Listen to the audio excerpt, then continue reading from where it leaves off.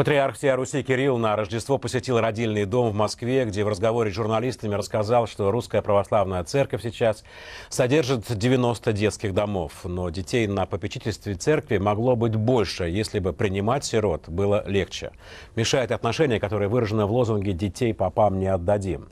По словам патриарха, церковь готова взять государственный сиротский детский дом для инвалидов под свой покров и воспитывать там детей. О том, как это уже происходит, наш корреспондент Павел Зарубин.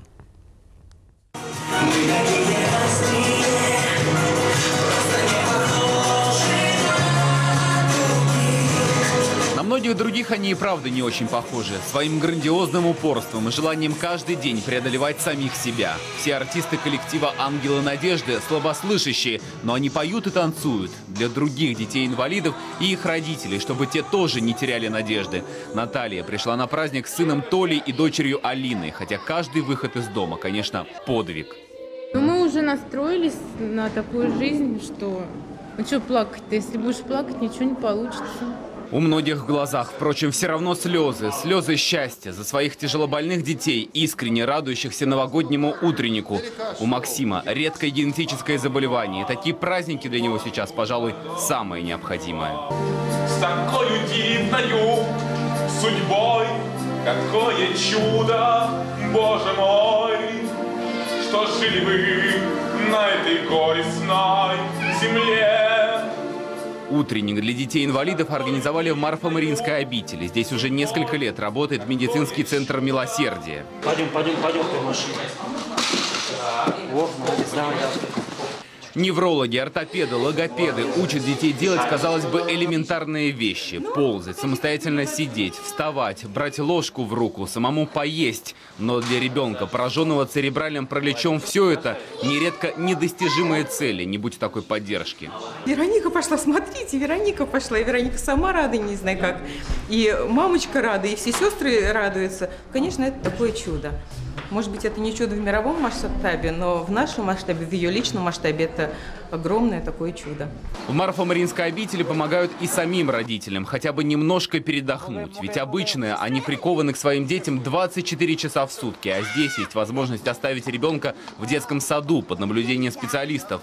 Заниматься с ребятами сюда приезжают и ипотерапевты. Лошадь – отличный тренажер для больного детского организма и хороший лекарь для души. Ребеночек, который сидит в коляске, он мир воспринимает э, снизу вверх.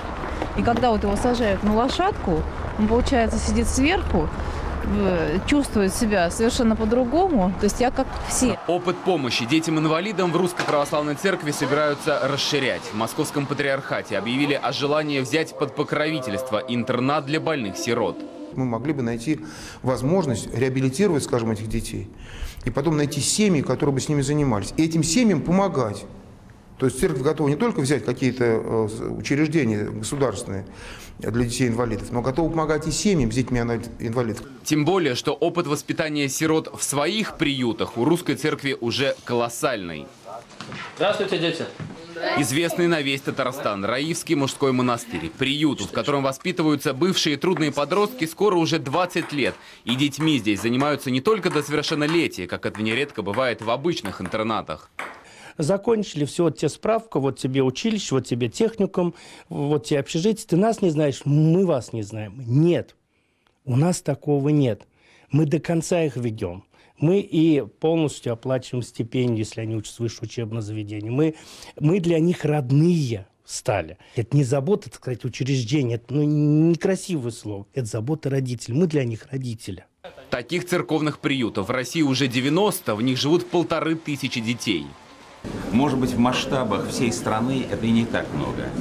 Но в масштабах церкви, которая насчитывает очень немного лет своей активной социальной работы, это много. Но было бы еще больше. Но нередко, к сожалению, мы слышим страшный ответ. Детей попам не отдадим. Сергиево-Посадский детский дом слепоглухих. Учреждение государственное, но успешно взаимодействующее с церковью. Здесь есть свой специально оборудованный храм с рельефными иконами. Слепые понимают, что на них изображено с помощью тактильных ощущений. С низкими подсвечниками, чтобы зажигать и ставить свечи могли дети. Мы даем возможность понять им, что есть храм, что туда ходим, да, и самые маленькие дети ходят. Но а, если ребенок не хочет, если он а, не готов к этому, то настаивать никто не будет. И это делать не нужно ни в коем случае. Духовное развитие, безусловно, помогает общему развитию ребенка, своих детей. И это бросается в глаза. Воспитатели действительно любят и делают все, чтобы подготовить их к самостоятельной жизни. Потому и удивительные успехи. Десятилетний Эдуард, который ничего не видит, научился играть на синтезаторе. Этот автор, ой, композитор, наверное, представлял, что у него есть любимая, и он, наверное, по ней скучает, наверное.